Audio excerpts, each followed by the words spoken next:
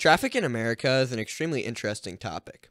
The way cities were planned out over the last century can have direct effect on how it runs current day. You can permanently ruin your city just by poorly planning it in the early 1900s. And as well as this, the geography of a city also affects how traffic runs current day, something the city itself has much less control over.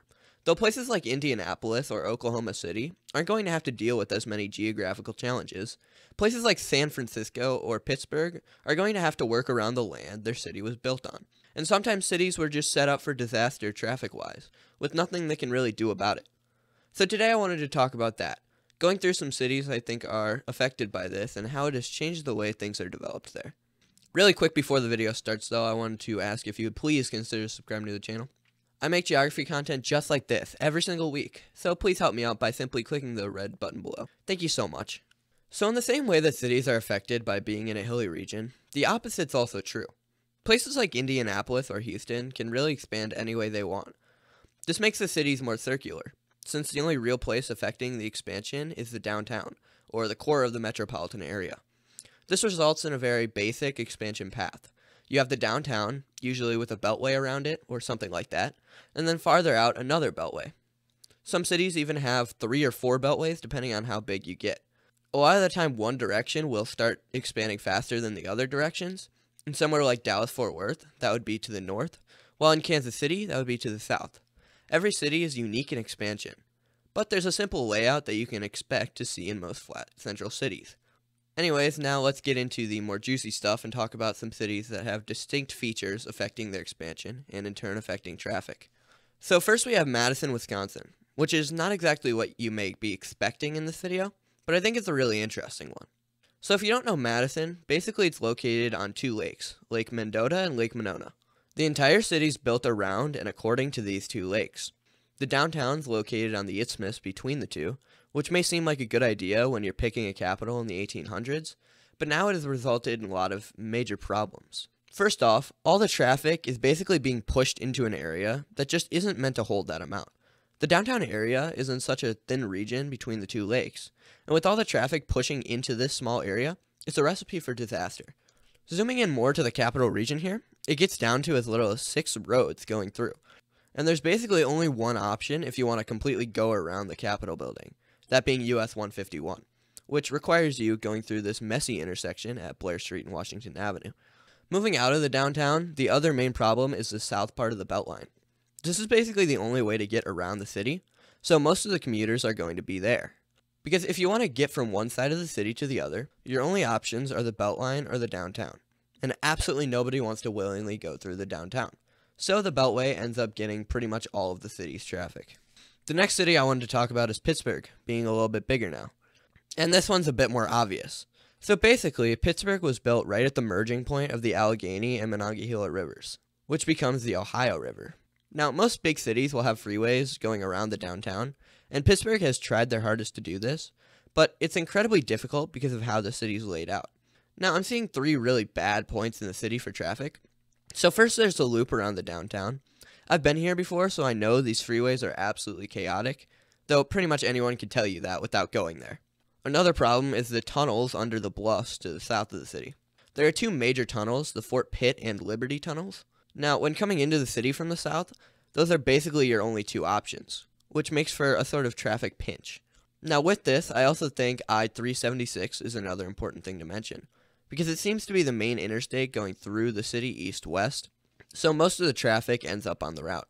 This makes for bad traffic basically from one side of the city limits all the way to the other, especially where it's just two lanes on either side to the east of the downtown, which is only a thing because of the terrain there, which makes it virtually impossible to widen. Next up, we have Chattanooga, Tennessee, struggling from being built into the Appalachian Mountains a little too heavily. Now, this one doesn't require as much explanation, so I won't talk about it as much, but looking at the traffic map of the city, there's pretty clearly one major problem here. I 24. Now, there's an obvious reason for this with the geography of Chattanooga. There's mountains to the west, pretty large ones at that. I mean, just crossing the mountains at all is difficult, with there only being six actual routes going through in the southern 50 mile stretch of Tennessee. Now, with this coming into the city from the west, there's only one actual route, and that's I 24. This causes all the passing traffic onto the road, and again makes a sort of geographic pinch for the city. Next up, we have a more obvious one that felt like it needed to be mentioned, which is New York City. Now, this one is a little different because there's simply too much to talk about. The city is obviously the biggest in the country, and there's so much going on with the traffic and the geographic location, I simply can't go through it all. So let's start by saying the way New York has so many islands is definitely a main reason for the problems. Manhattan is the most central point of the city, and it just really isn't that big of an island, so it makes it incredibly difficult to withstand the amount of traffic it sees. The main problem I see is that the Hudson River is actually really, really wide. So there can't be a ton of bridges or tunnels crossing it. There's the Holland and Lincoln Tunnel, as well as the George Washington Bridge at the north end of the island. Those are the only connections between Manhattan and New Jersey. This turns into some exceptionally busy crossings. In fact, the George Washington Bridge is the busiest of any bridge in America. Other than this, the city really just can't have freeways anywhere because there are simply too many cars, which makes for constant traffic in the city. Next up, we have San Francisco as well as the Bay Area as a whole. Now, for this one, it obviously just comes from the massive bay mixing with the mountainous landscape. There simply isn't enough room there. Within the city lines of San Francisco, you basically see too much demand and not enough room. It's one of the densest cities in the country. San Francisco has been forced to build upwards instead of outwards, which absolutely never bodes well for traffic. It's probably for the best that San Francisco had freeway revolts and never ended up building an extensive freeway system around the city. Because I know with the way things are going, it would just have made things worse. If I had to highlight one spot I think was a particular problem, it would be obviously the Bay Bridge. Because it's quite literally the only direct connection between San Francisco and Oakland, two really big cities. There's just so much traffic taking the bridge, no matter how much you upgrade it, there is nothing you can do at this point. Next up, we have Salt Lake City, one that's become significantly worse in recent years as it's grown. The main problem with this one is its thin location, tucked between large mountains and the Great Salt Lake or Utah Lake. Now, the major problem with this is pretty much all the traffic is going north to south. And because there's so little room, you have one route that absolutely everybody takes I 15. At certain points, it's so bad, there's literally like two roads that you could even possibly take, like the Ogden Corridor, for example where the lands between the mountains and the lake are so small, I 15 is basically the only connection between the north part of the metro and the central part. Same thing on the other end, where there's again only one major route connecting Salt Lake City to the Provo area, that being I 15. Basically, the whole metro commutes using this road, and if you've learned anything from this video so far, it's that that is going to be a recipe for disaster. Next up, we have Seattle, which is another one that struggles from this kind of problem where there just isn't enough room for the central city. Now, even though it's in a mountainous region, this doesn't severely affect the traffic. What does affect the traffic is that Seattle is located on an isthmus, probably the worst possible geographical feature for a city.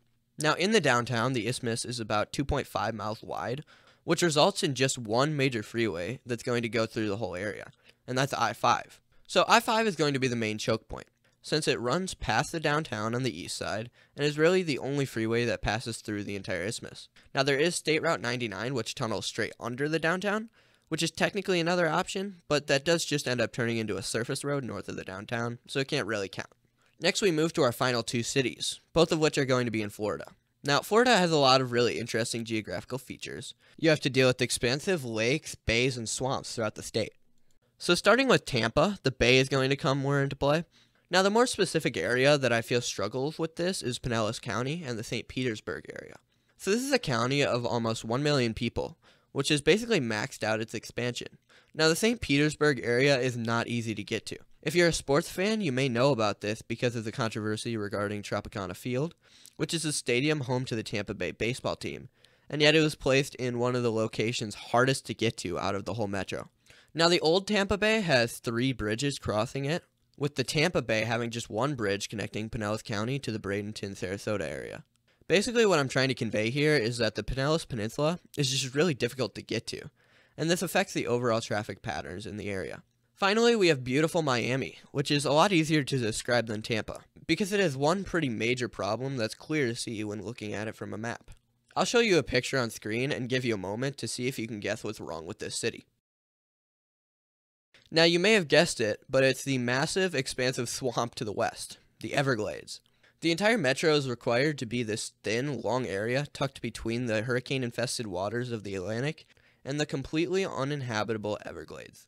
So, the city, and at least the southern part of the metro, is basically out of room fully. forcing the already built up area to get more built up and incredibly chaotic. And this is just not good for roads. There's only so many freeways and boulevards you can build before you're really just out of room. There's too many cars going north south and not enough roads to hold them. It's pretty simple. So, in conclusion, I think what you should have gotten from this video is that when a city doesn't have enough room to evenly expand and distribute the traffic, it ends up having choke points where every car pretty much has to go. And this results in bad traffic for the cities. There are a lot more places that could be talked about, like New Orleans, Los Angeles, both Charlestons, or Asheville. And maybe I'll get to those some other time, but these are the cities I think are most majorly affected by geography when talking about traffic. Thanks for watching. Thank you to the members this week Carport, Schneider Schwein, Florida Jake, Philip Gertz, Somnam Woods, Big Pasty, Stormy Night, Nikita Murnoff, KMS 162, Haystack, Benjamin Whiting, Ryan Devins, Hazev the Wolf, Jake Holloway, JL, Jeremy Crone, Dominic Psyche, Rosebud 4, and Bryson. Thank you all. I genuinely appreciate it so much. If you want to become a member, the join button is down below as well as in the description. All of this money goes straight into my college savings, so you know I'm not spending it on anything dumb. This is really just helping me as a person and my future. So if you appreciate the content, that's this is the easiest way to support the channel. Thank you.